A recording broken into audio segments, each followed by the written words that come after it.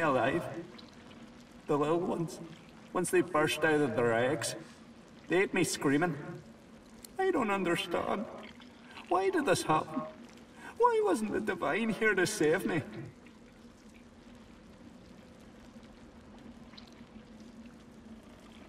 Too little, too late. I'm already dead, and Rivellon's been on its own for too long now. Never thought I'd be relieved to die like that. If you hadn't come along, I would have been eaten by them damn hatchlings we were guarding. I wish I could tell you, but my brain ain't quite straight. It's still full of Mordus' fog. All I know is I were to guard those eggs with my life. And once they cracked open, I was to lay down my weapon and let them eat me. You spared me from that at least. Thank you. Be damned if I know. We had him locked up tight in the hole beneath his office, waiting for Lohar's go-ahead before we threw him off the cliff. Then, the next thing you know, I hear this voice. His voice. Telling me to kill. And my hand went for my dagger.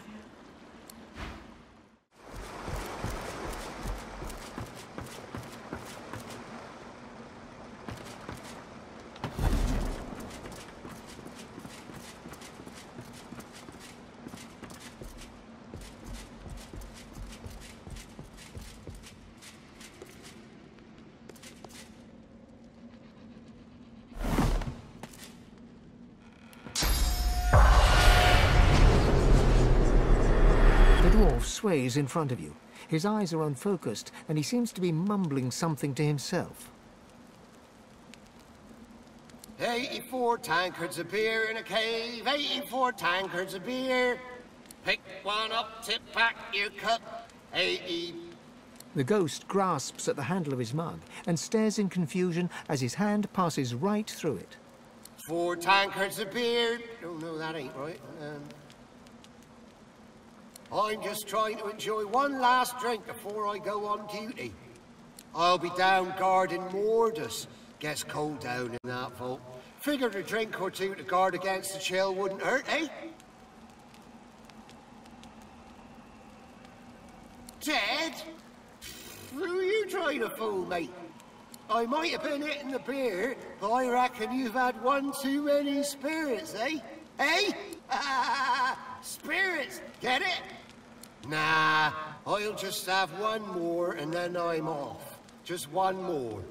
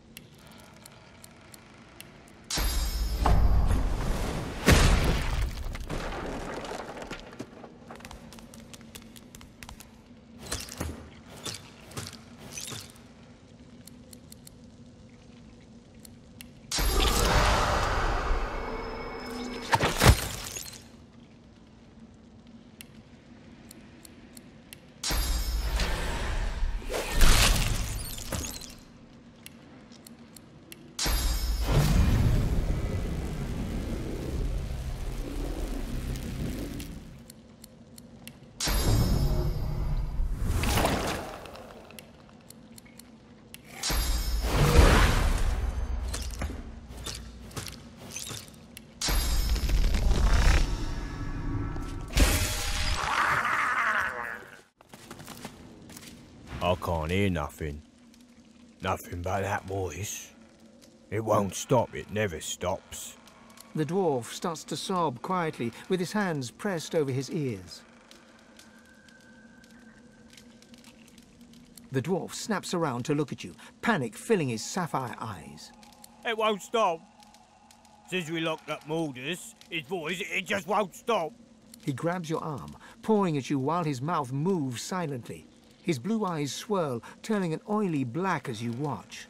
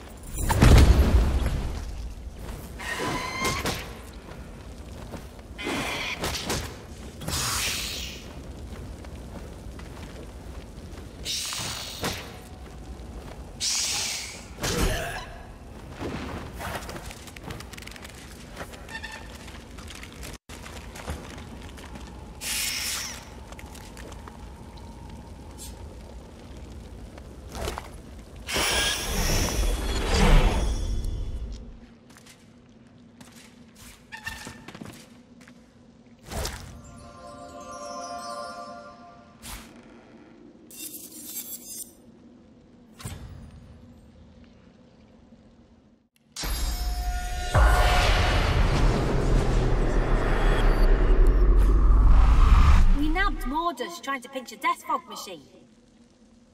If I'd known this would happen, I would have just let him have it. The ghost sways from side to side, the firelight flickering through the shade of what he used to be. The spirit reaches out to you. As you touch its hand, you see flashes of its past. You see a dwarf trying to sneak into a room filled with barrels, barrels covered in the marks of death. There is a distant shout, and he bolts, scrabbling for freedom. He's chased to an office, to a vault. Guards are posted as he cowers inside, and you wait for word from Driftwood.